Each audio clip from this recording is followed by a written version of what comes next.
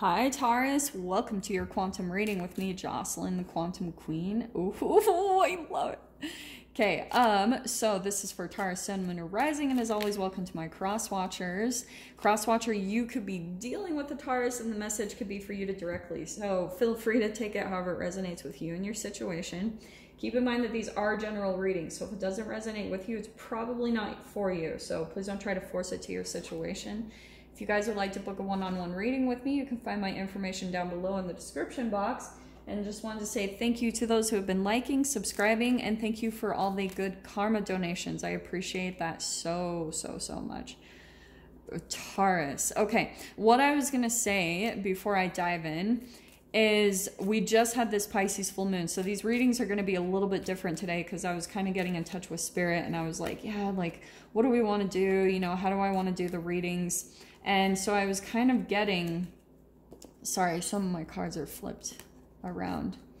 Um, so Pisces full moon, very significant closing to a lot of things in your life. Okay, so you guys might have started to finally see that there's been something that's affecting you that you need to put a complete close to now because Pisces is all about deaths and it's all about transformations to step into the new beginnings. So that's why I'm using these cards. This is the doors that are opening for you, especially because we have the new moon in Libra coming up on Saturday. So there's going to be some doors that are opening this week. So on this side of the reading is going to be what's closing out, and on this side is that new beginning. And so we've got two doors for you, Taurus, opening up. This is good. Okay, Taurus. I want to say that you have maybe been dealing with someone, maybe some type of fear and anxiety, and here we've got the justice card. There was some type of maybe injustice that you went through, and maybe it's with someone who had a little bit of an illusion up, okay? Maybe weren't exactly who you thought that they were, okay? With that injustice or something. This even could be legal stuff but here, this is what's uh, really positive coming out on the doors opening for you. We've got the star card. So we've got harmony, abundance, renewal, healing, inspiration, and a lot of optimism. This is the light at the end of the tunnel. So for some of you, this could have felt like a little bit dark night of the soul-ish. You know, it, it yeah, with the moon, there was probably a lot of like in the dark, you're trying to find your way, and you're probably felt really disconnected in a lot of ways. But these are the doors that are opening for you. I love this. Okay, so we have got a cure for longing, love is happiness, a spark inside, live deliberately and choose boldly, then you have arrived. And hummingbird song, nectar of sweetness, enjoy it brings, the hummingbird's healing as medicine it sings.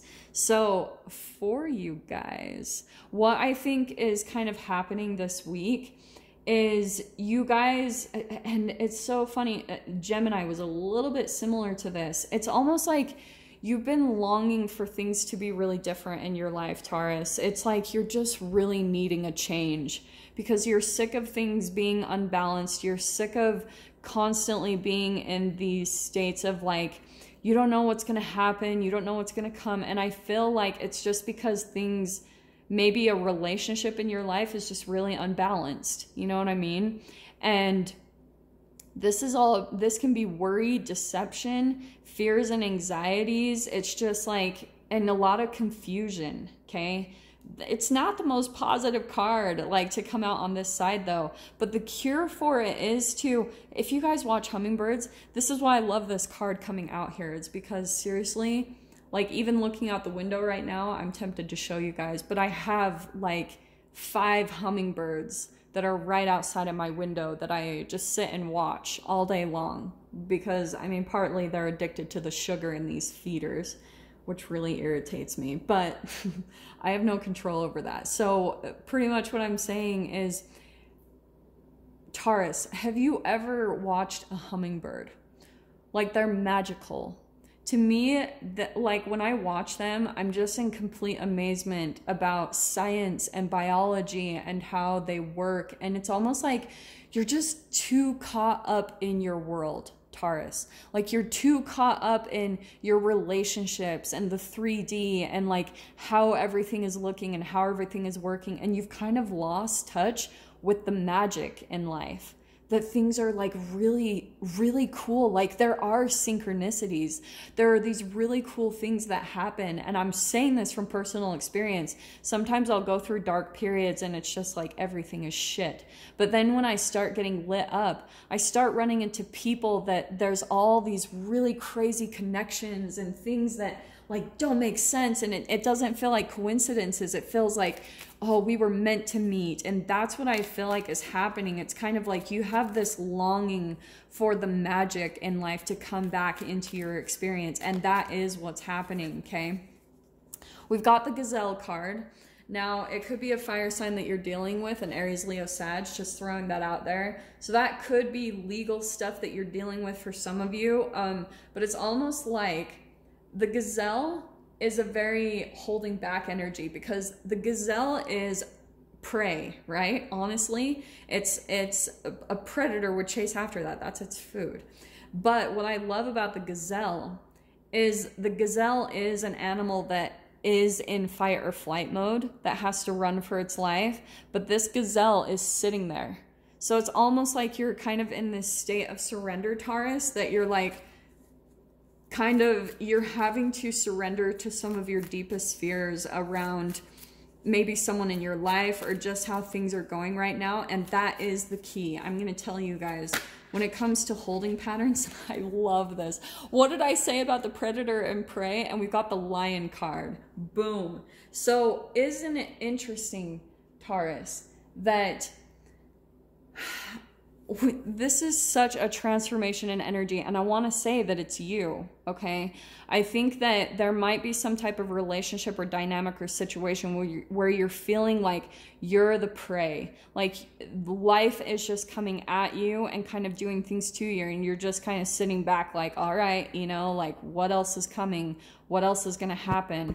And what's really cool is that you're to longing. There's this thing, these doors that are going to open for you this week where I feel like you're just going to have this new, renewed love for life. Like the magic is going to be coming back into your experience.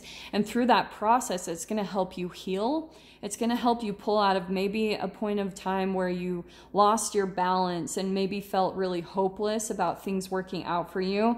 And boom, the healing's going to come in. And here's the lion card where you're like, back in your power. You're like, oh, I am on. I am back in the driver's seat. Because look at that transformation where you feel like maybe a little victimish here, but now you're taking the control and power back over your life. You're like, I'm not going to let anyone or anything tell me who I am, who I'm not. I'm the one that decides like my own destiny in that way if you want to go to that extreme. So let me pull out some tarot. And for some of you, for the star card, it could be like you need to just have a good freaking cry. Do you know what I mean? And in that moment, you're going to see like some of your deepest fears. Like maybe you're thinking that things are never going to work out for you. And they are, Taurus. They are. Like you just need to believe it. You need to believe in the magic again. This is why I talk so much about quantum physics because quantum physics, it is magic is straight up magic and that's the hilarious thing is it's science but it's magical okay? So taurus what i think is going to be happening is we've got the six of swords here. So that's you moving on to smoother more like tranquil waters. It's going to be like so much more calm what you're moving into especially once these doors open. The magic is coming in and once you start seeing like okay, life is actually really good, it's going to cause you want to want to leave this imbalance in your life, whether that's in your relationships or at work. There's just something where you're moving on. And here's what you're moving into. We've got the Ace of Pentacles. So that's a new beginning. That could be a new home, a new job. That's something material and it's a shift in movement there. So I'm saying that, I mean, these cards, this is crazy, Taurus. So we've got next the King of Pentacles. So for some of you, I mean, that is you, Taurus. Like you're standing in your power. Here's the Queen of Wands. I'm not going to pull it out because it's so similar to the lion energy. But you've got two aces that are popping out here. We've also got the Ace of Wands.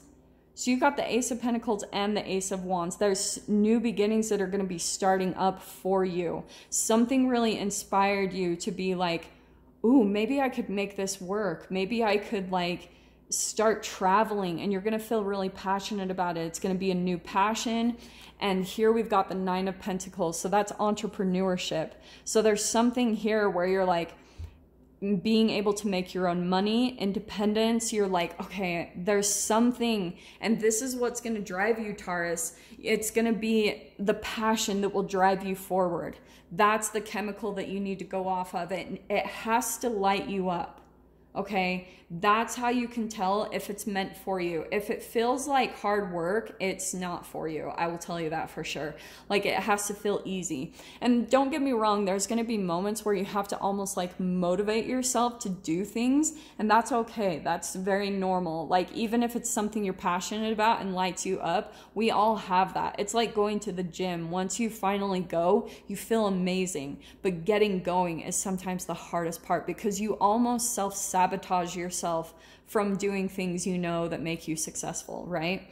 So, Taurus, I know these are a little bit shorter, but I'm going to dive into this in the extended. This is freaking good here, though, what's coming out here. The King of Pentacles, that's like money flooding into your experience. So, this for a lot of you could be entrepreneurship. Maybe you're running a business for some of you. But like I said, I'm going to dive into the extended. If you guys want to join me over there, just go down below, click on the Vimeo link, and I'll see you over there. But Taurus, if this is where we leave things, I'm sending you guys so much love, wishing you all the very best, and I will see you in your next reading. Take care.